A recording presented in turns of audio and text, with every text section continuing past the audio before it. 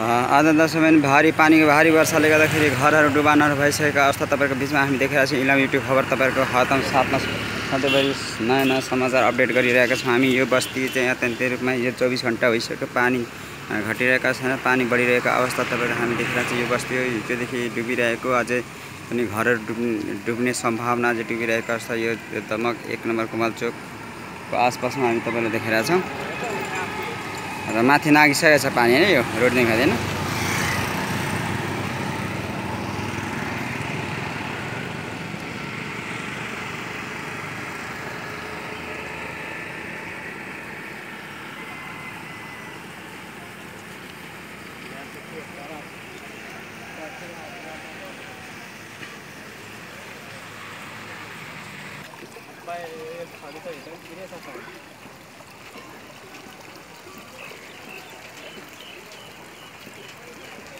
अब अझै पानी दुई दिन भरि अन्त यो सबै डुब्छ होला होइन?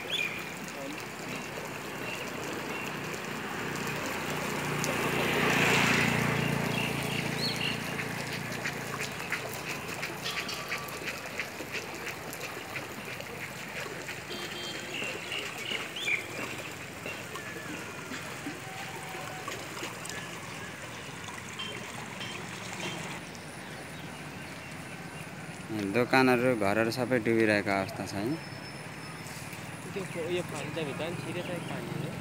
कुमाल चोक पानी चढिसकेको अवस्था छ होइन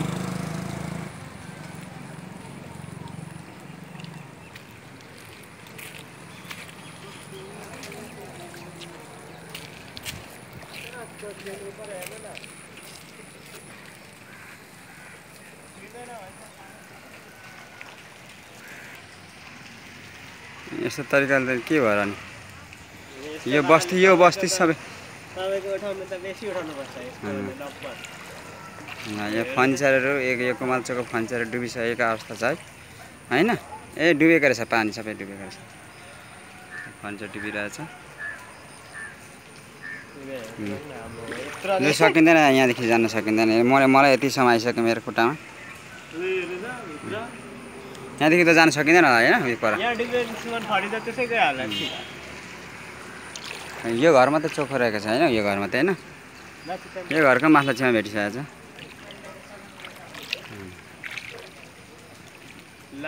त त।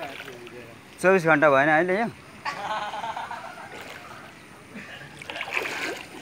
ले ल कान्छा फोन चाहिँ यस्तो यस्तो के गर्नु?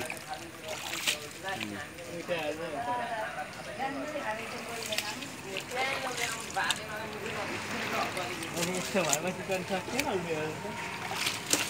बिजो त्योभित्र उयो बुटा खोप्ने हुन्छ ए बिजोक रहेछ बिजोक बिजोक ला यो पुलाई त उता हाल्दा हुने नि खतम भयो। ला लो बेडको झन् त्यो टाउको रहेछ त्यो खतम नै भयो होइन. सबै फर्ने त त्यति गरेको रहेछ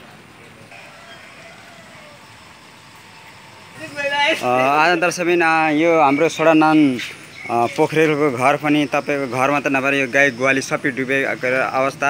हिजोदेखि गाई बस्तु नै बाहिर निकाल्ने अवस्था भइरहेछ। यो डुबियान भएर यो तपाईँ हामीलाई देखाइरहेको छ यो डुबान भएको बस्तीहरू। अत्यन्तै अब घरमा पस्न चाहिँ बाँकी छ।